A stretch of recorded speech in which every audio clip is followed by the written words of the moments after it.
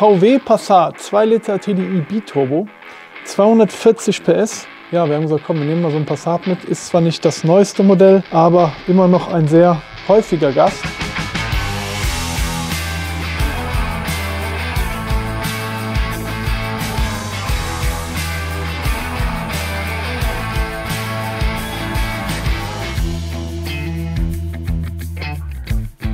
Herzlich willkommen zu einem neuen Video. Heute mit ähm, ja, einem Daily VW Passat 2 Liter TDI Biturbo, 240 PS. Bekommt bei uns eine ganz normale Stage 1 Softwareoptimierung. Es gibt, glaube ich, schon ein Skoda Kodiaq RS Video. Ja? Äh, ist eh ähnlich äh, von den Werten bestimmt. Und äh, ja, wir haben gesagt, komm, wir nehmen mal so ein Passat mit. Ist zwar nicht das neueste Modell, aber immer noch ein sehr häufiger Gast. Ähm, ja, Eingangsmessung, Eingangsleistungsmessung. Ähm, dann schauen wir mal. Kurzes, knackiges Video und äh, wir sehen uns am äh, Laptop wieder.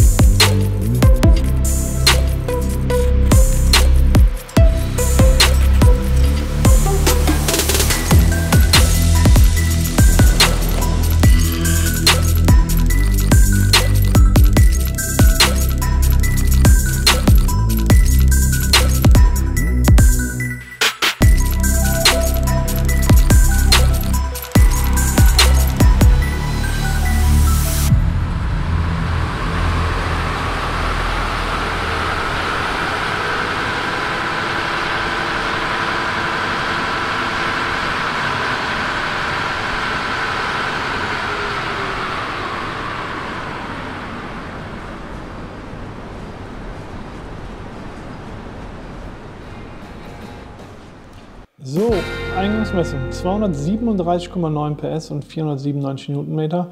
Werksangabe 240 PS, wie schon erwähnt, und 500 Newtonmeter.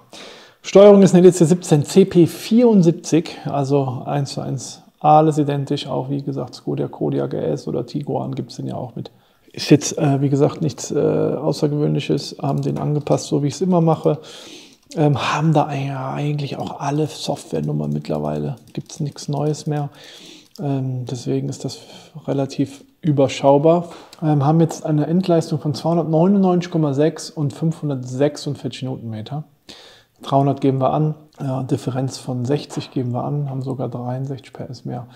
Also sollte der Passat mit knapp 300 PS und 2 Liter TDI ganz gut fahren. Ja, ich äh, halte mich heute kurz. Gibt es noch die Ausgangsfahrt und in diesem Sinne vielen Dank fürs Zuschauen und bis zum nächsten Mal. Ciao.